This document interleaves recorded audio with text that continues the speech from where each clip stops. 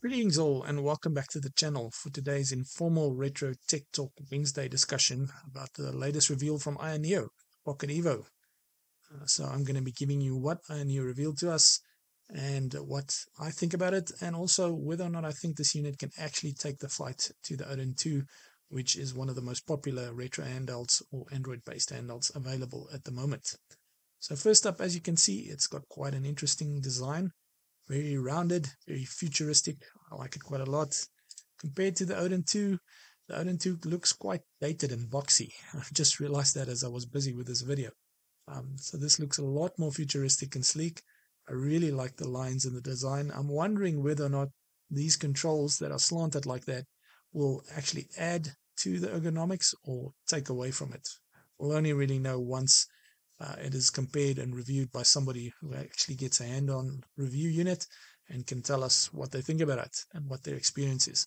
It is a successor to the Pocket S, which I only revealed a little while ago. It's available, the Pocket S for sale at around $400, which is quite expensive, but um, same chipset as the Pocket Evo. Uh, so same internals, more or less. The screen is different though. The Pocket S has an IPS 1440p display, whereas the Evo has an OLED 120Hz display, 7 inch, also bigger, obviously, 1080p. So, quite an interesting unit, very minimalist design, Hall sensing triggers, this rounded look. Doesn't look to be quite too thick. It looks like it would actually compare to the Odin 2 Mini. Um, it has the G3X Gen 2 chipset, which we mentioned is in the Ayaneo Pocket S as well. The Odin 2 has got the Snapdragon 8 Gen 2 chipset. So the G3X is a little bit more powerful. Um, I'll leave a link in the description to a video from Russ over at Retro Game Corps where he compared the Ayaneo Pocket S with the Odin 2 and he did some benchmarks on it which are quite interesting. So the G3X does produce a little bit more performance, I'd say 5 to maybe 15% more performance, but I'm not sure whether it's going to be actually be noticeable when you compare it to the Odin 2. Um, it has an 8000 milliamp hour battery, which is the same as what the Odin 2 has.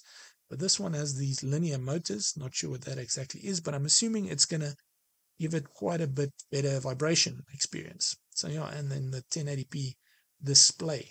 So, yeah, um, do I think that it will be able to compare to the Odin 2?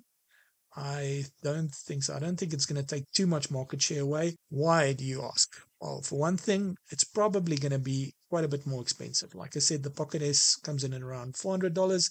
This has got an OLED display, so most probably it's going to be more. It will be probably $450, $500. A lot of people on the forums are saying that they're not really willing to go over $500 for an Android handheld because it is limited in what it can do, in what kind of emulation capabilities are available on Android. Um, so yeah, that's one of the reasons.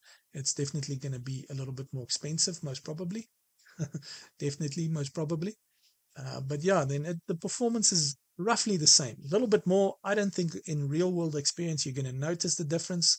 Uh, maybe if you're running high end emulation, trying to do Windows emulation, and then running maybe a PlayStation 3 emulator inside the Windows emulator, like some people are doing currently.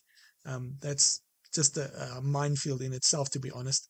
But also because the Odin 2 has got a lot better driver development because it's been out for a little while longer than what the Evo is has.